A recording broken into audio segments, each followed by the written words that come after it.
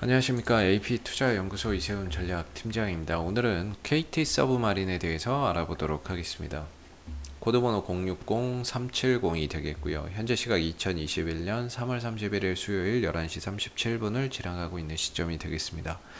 아, 이 종목에 대한 기본적 기술적 흐름에 대해서 설명드리고 있는데요. 구독과 좋아요 눌러 놓으시면 이 종목에 대한 리뷰 영상 받아보실 수 있으시고요. 항상 참고 영상으로 예, 바라봐 주시면 감사하겠습니다.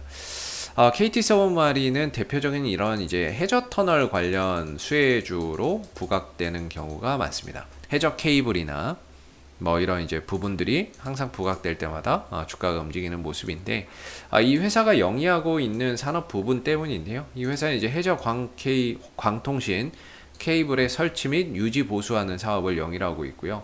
해저 전력 케이블의 설치 및 유지 보수하는 사업을 영위하고 있습니다. 뭐 이런 해양 구조물 설치도 어, 하는 사업을 하고 있는데 이런 이제 사업 모델 때문에 이 종목이 대표적으로 뭔가 해저 터널 뭐 이런 부분들 항상 이제 관련 수혜주로 부각이 되는 어, 종목이 되겠고 어제 같은 경우에는 해저 케이블을 잇는다라는 소식이 전해지면서 어, 주가가 좀 상승이 나왔죠. 근데 이제 뭐 페이스북하고 구글이 미국 동남아 국가들을 연결하는 해적 케이블을 건설할 것이다. 뭐 직접적으로 뭐 관련이 있다 이렇게 볼 수는 없지만 이런 이야기가 나올 때마다 빠지지 않고 또 움직이는 종목이 KT 서브마린이다 이렇게 보시면 되겠습니다. 근데 이 KT 문양 어디서 많이 봤죠? 브랜드 예 바로 최대 주주가 통신사 KT가 되겠습니다. 음, 최대 주주가 KT로 있고요. 아, 그리고 이제 해저 케이블 관련 어, 사업을 영위하고 있는 회사이기 때문에 어, 해저 터널이나 해저 케이블 관련 이슈 나올 때마다 주가나 이런 부분들이 부각이 될 수 있다라는 점도 알아두시면 좋을 것 같습니다. 아, 지난번에는 이 KT 쪽에서 이 KT 서브마린을 매각하려고 한다 이런 이야기가 나왔었거든요. 서브마린을 매각하려고 한다. 왜냐하면 좀 직접적으로 사업하고 뭐 크게 상관없는 회사들을 이제 처분하려고 한다 이런 이야기가 있었고 그 대상자가 이제 LS 전선이 됐던 거죠. LS 전선이 KT 서브마린을 인수할 것이다. 그래서 그런 부분들이 부각됐던 10월 달에 또 한번 급등이 나왔지만 이후에 뭐 추가적으로 이야기 나오는 것들이 없는 가운데 주가는 또 연이어서 쉬어가는 모습이었고 중간중간에 주가를 한 번씩 이렇게 들어주는 모양새는 있었는데요. 주가가 그렇게 크게 뻗어나간다거나 상승을 보여주지는 못했던 것 같습니다. 전반적인 기술적 흐름에서 본다면은 이제 KT 서브마린이 하나의 이런 박스권 안에 갇혀 있었다 이렇게 볼 수가 있을 것 같고 아래로는 5,000원에서 뭐 한 4,800원 정도가 되겠죠.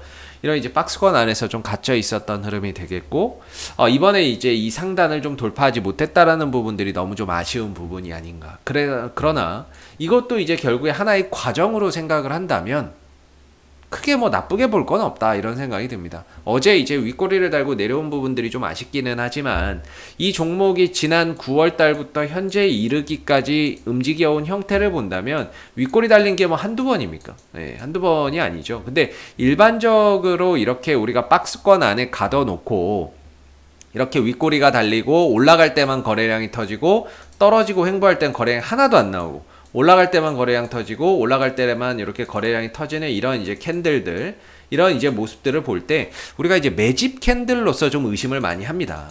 매집 캔들.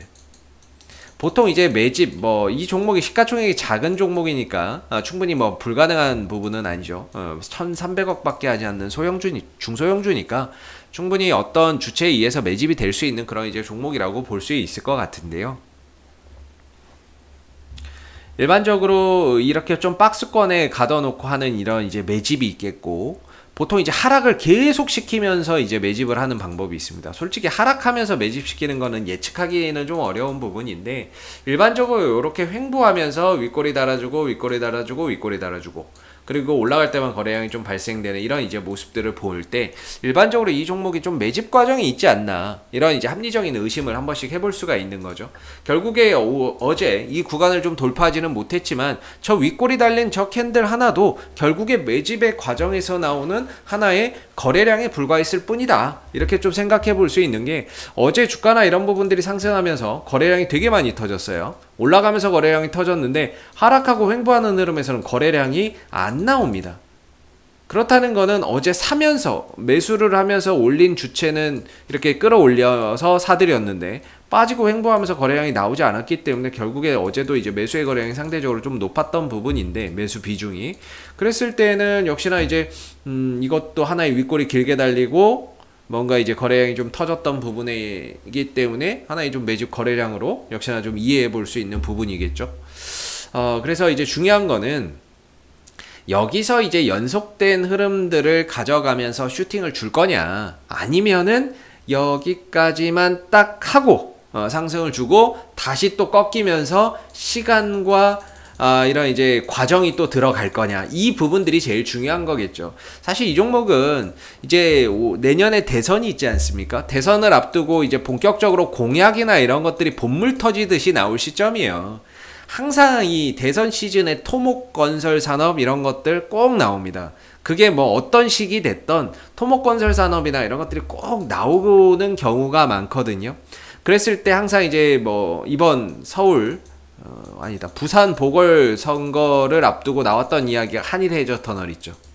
한일 해저 터널 요거 나왔던 부분이죠. 물론 쑥 들어가긴 했지만 이런 부분들 나올 때 이 종목이 수혜가 되는 부분이거든요. 또 모른다는 거죠. 이런 공약이 나오게 된다면 또 이런 수혜주 찾기에 나설 거고 그랬을 때는 KT 서브마린이 대표적인 수혜주가 될 수 있다라는 겁니다. 그래서 이런 정치, 선거, 공약 아, 관련 수혜주로도 좀 엮일 수 있는 부분들이 되겠고 한일 해저 터널이 아니더라도 제주하고 이제 목포를 잇는 해저 터널 이 부분도 이야기가 좀 어, 나올 수 있거든요. 어, 그래서 이런 부분들도 하나의 공약이 될 수 있는 부분이 될 거고 그게 아니면 좀 다른 쪽에서 뭔가 이야기가 나올 수 있죠. 요새 뭐냐면 지하화 한다는 얘기 많이 나옵니다. 지하화. 뭘 지하화하냐면 도로나 철도나 이런 것들을 땅으로 이제 예, 지하로 다니게 하겠다라는 거예요. 그리고 지금 그 도로가 있는 자리에 예, 건설을 하겠다. 주택이나 이런 것들 건설하고 녹지를 조성해서 시민에게 돌려주겠다. 그래서 나오고 있는 이야기 중에 하나가 뭐 어, 경부선 지하화라든지 뭐 이런 이야기가 나오고 있죠. 지하화, 경전철 뭐 지하화 뭐 이런 이야기가 수시로 나오고 있습니다. 음, 그리고 그 땅에다가 이제 주택을 건설해서 또는 녹지를 건설해서 시민들에게 돌려주겠다. 이것도 이제 하나의 공약인 거죠. 그런 차원에서도 뭔가 역시나 KT 서브마린이 하나의 수혜주로서 또 엮일 수 있는 그런 이제 하나의 가능성. 어차피 테마주니까 어, 그런 거는 테마로 움직이는 거니까 이래 엮거나 저래 엮거나 어차피 코에 걸면 코걸리, 귀에 걸면 귀걸이라서 여기서 응축됐던 힘이 그런 이제 하나의 공약을 어, 발판 삼아서 모멘텀 삼아서 상승하는 계기가 될 수도 있다라는 거죠. 그래서 그런 부분에 대한 이제 기대를 좀 가져봐야 되지 않나 싶고요. 어, 그랬을 때 지금은 아직까지 이 KT 서브마린의 단기의 단기적인 방향성을 보시면 상방입니다. 5일선이 살아있고요. 11선이 살아있기 때문에 이 종목이 어제 돌파가 되지 못했을 뿐이지 돌파를 실패한 건 아닙니다. 오늘 다시 돌파를 할 수도 있고 내일, 내일 모레 아, 언제든지 재돌파가 가능하다라고 보고 있고요. 단 5일선과 11선, 특히나 11선이 종가상으로 이탈되기 전까지는 이 종목이 돌파에 대한 가능성은 여전히 열려 있다라고 봅니다. 그러나 11선을 깨고 내려왔을 때는 아, 이번에 좀 실패하고 좀 쉬면서 재차 또 힘을 모아서 흐름들을 만들어 가겠구나. 이렇게 이제 또 봐야 될 부분인 것 같아요. 사실 이 종목이 언제 이 박스권을 돌파한다? 그건 아무도 모르죠. 누가 압니까? 세력들은 알겠죠. 근데 그거를 이제 알 수 있는 방법은 없습니다. 그걸 알면 이제 세력이 되는 거죠. 그렇기 때문에 일반적으로는 이 박스권 상단을 단기적인 좀 대응 자리로 봅니다. 뭐 장기적으로 좋게 보고 가시는 분들도 계시겠지만요. 단기적으로 봤을 때는 이 박스권 상단 6,200원에서 6,400원 자리를 단기적으로 한번 끊어주는 이런 대응의 자리라고 보고요. 그리고 뭐 나머지로 추가적인 상승을 보이면 보이는 대로 거기서 목표가나 이런 것들을 좀 높여가는 것이고 반대로 나머지가 뭐 5일선이나 11선이 깨져서 꺾인다. 그러면 뭐 나머지도 대응을 해서 가는 그런 이제 부분들이 되겠죠. 그래서 현재의 위치는 뭔가 신규 매수나 이런 부분들로 접근하기에는 상대적으로 좀 부담 부담이 될 수밖에 없는 부분들이고 있는 분들의 입장에서 추가적으로 더 이 흐름들이 가느냐 아니면 꺾여서 내려오느냐를 아직은 좀 더 시간을 두고 볼 수 있는 그런 이제 구간이다 이렇게 말씀을 좀 드릴 수 있을 것 같아요. 그래서 지금 같은 경우는 이제 뭐 어차피 이 종목이 수급적으로 외인들 기관들 수급 받아서 가는 종목은 아니고요. 외인들 기관들이 들어오기에는 시총이 작죠. 예, 모아가기는 시총이 좀 작기 때문에 들어오기에는 한계가 있다라는 점. 그래서 이 종목은 딱히 뭐 수급에서 큰 포인트를 찾기도 어렵고 기술적인 흐름에서 이제 좀 의존을 하면서 볼 수밖에 없을 것 같아요. 어, 그렇게 또 봐야 될 부분인 것 같고 현재로서는 그동안의 역배열 흐름이 또 정배열로 돌려놓은 상태이기 때문에 주가의 전체적인 방향성도 일단은 상방이라는 점에서 어, 전체적으로 상승과 조정, 상승과 조정이 반복되면서 이제 차트나 이런 것들이 좀 더 안정화되고 있다 이렇게 보여지는 부분이고요. 어, 결국에는 이제 6천원대 이 자리를 좀 돌파, 종가상으로 좀 돌파해서 넘어가는 그런 상황들이 나와야 이후에 추가적인 상승이나 이런 부분들 흐름 속에서 탄력 을 좀 더 보여줄 수 있지 않을까. 워낙에 이 종목이 또 과거에 이렇게 끼도 많은 종목이기 때문에 에, 뭐 얼마든지 이런 끼가 또 분출될 수 있다라는 점을 참고해서 알아두시면 좋을 것 같고요. 앞으로도 뭐 KT 서브마리는 이슈가 생길 때마다 계속해서 리뷰 영상 남겨드리고 있으니까는요. 구독과 좋아요 한번 눌러주시고 오늘 영상은 여기서 마무리하도록 하겠습니다. 감사합니다.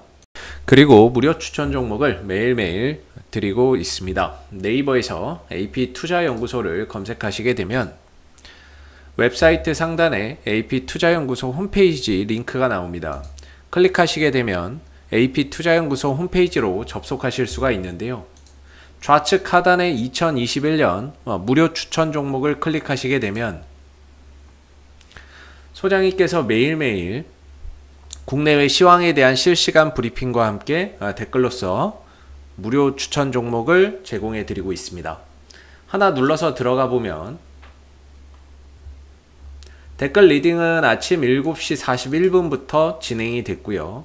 무료 추천 종목을 보시기 전에 꼭 읽어보세요도 어, 읽어보시기 바라겠습니다. 그리고 간밤에 있었던 미 증시에 대한 상승과 하락에 대한 아, 이유도 상세히 밑에 댓글로서 적어드리고 있는 부분들이 되겠고요. 그리고 9시가 되게 되면은 이제 무료 추천 종목이 나오게 됩니다.